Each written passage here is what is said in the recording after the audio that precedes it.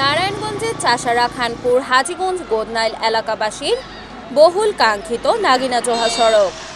প্রায় একশো তেরো কোটি টাকা ব্যয়ে নির্মিত হয়েছে এই সড়কটি। কিন্তু এই সড়কটি এখন এলাকাবাসীর জন্য দুর্ভোগের কারণ হয়ে দাঁড়িয়েছে। নানা অব্যবস্থাপনায় আর অবৈধ দখলদারদের কারণে সড়কটি হারাচ্ছে তার গতি ও সৌন্দর্য। বিশেষ করে সড়কটির হাজীগঞ্জ পয়েন্টে নারায়ণগঞ্জ সিটি কর্পোরেশনের ফেলা বর্জ্যে মাত্রারিক্ত দুর্ভোগ পোহাচ্ছেন হাজিগঞ্জ সহ আশপাশের এলাকার বাসিন্দারা।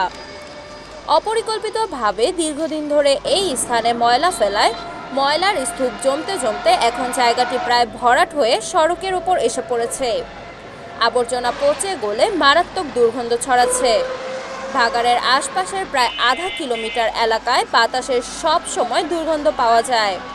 আর এই কারণে চরম ভোগান্তি পোহাতে হচ্ছে আশপাশের এলাকার বাসিন্দা সহ এই রাস্তা দিয়ে চলাচলকারী হাজারো পথচারীদের।